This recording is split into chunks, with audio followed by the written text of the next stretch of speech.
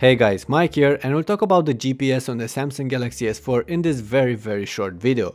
I for one was curious to see how fast will the phone lock on my position. So here's what happened when using only the GPS module with no help from wireless or mobile cells.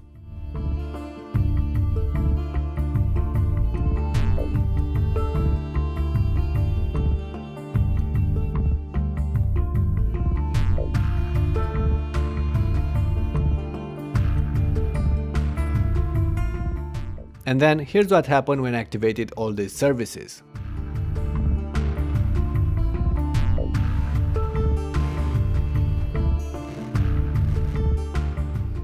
So the S4 is fast, but not extremely fast.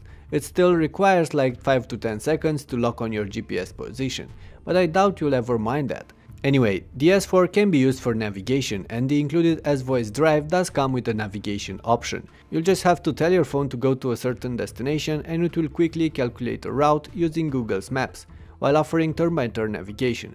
Of course, you will need internet access for that, but you can also install a third-party GPS app that can work offline.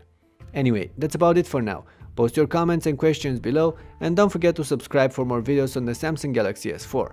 Cheers!